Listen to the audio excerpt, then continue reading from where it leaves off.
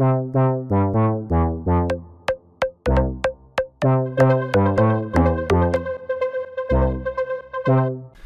day, it's Tony Fortunato from the technology firm. Today I'm going to show you how to measure performance using Microsoft Windows PowerShell. And PowerShell comes with Microsoft Windows, um, I don't know, 8, uh, 10, 7, so it's, it's there. Uh, this is a pretty simple little script that's literally one command, literally, but of course I'm going to just extend it out a bit. so for those of you who want the copy of the script, there's not much to it. You'll see what I mean in a second. So uh, with PowerShell, the nice thing about it is you don't need any special editors, compilers, you don't need any of that stuff. So I just have Notepad open and I call the file copystuff.ps1. That's, that's the key, the extension, ps1. So whatever you want, .ps1. And I'm going to put this write host command here and all that does, it's like an echo command in a batch file. It just puts stuff to the screen. In this case, I wanted to write this following text to the screen. 133 meg copy to the H drive. That way I know and I remember what it's doing. Here's the command that does all the work. Measure dash command, and then you've got your curly braces open. Xcopy 113 MB.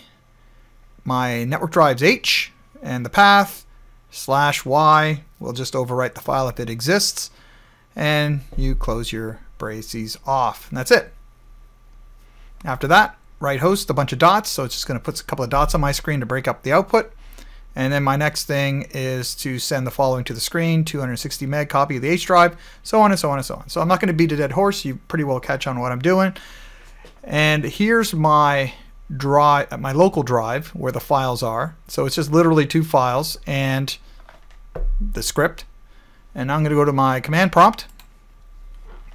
And you have to make sure you're in the PowerShell command prompt.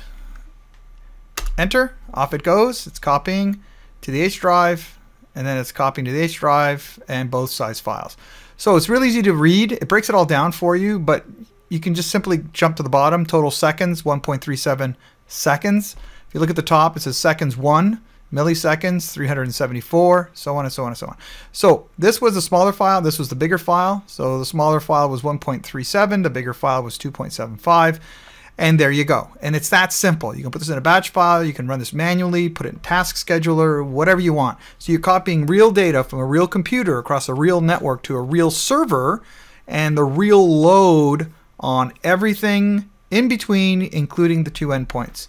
So now I'm going to just change this up just a little bit. I'm going to go over to my Ethernet adapter and I'm going to disable it.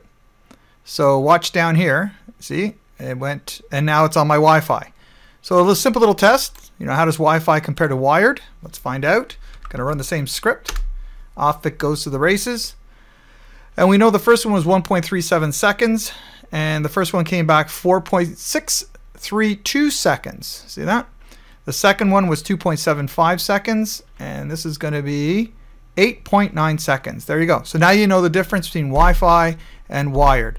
And, and I'm going to make this real easy. As far as Wi-Fi and wired analysis goes, you don't need to get into the initial, well, what band are you using? Is it 2.4? Is it 5 gigahertz? How wide are the channels? Blah, blah. You, you don't need to worry about any of that. Just measure what you measure if you don't like it, then you go play with stuff. And you might say, oh, am I connecting to the closest access point? Let me check that. And so on and so on. But every time you make a change, come back, run your script again. Now, ideally, I just ran into this last week with somebody. Ideally, what you want to do is you want to run your measurements five times. That's just my rule of thumb. It's not, it's not written anywhere.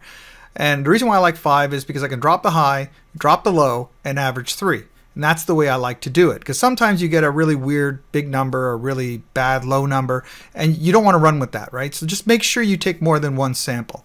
Even here, I could have easily in the script, I could have just copy and pasted the same command five times, and there you go.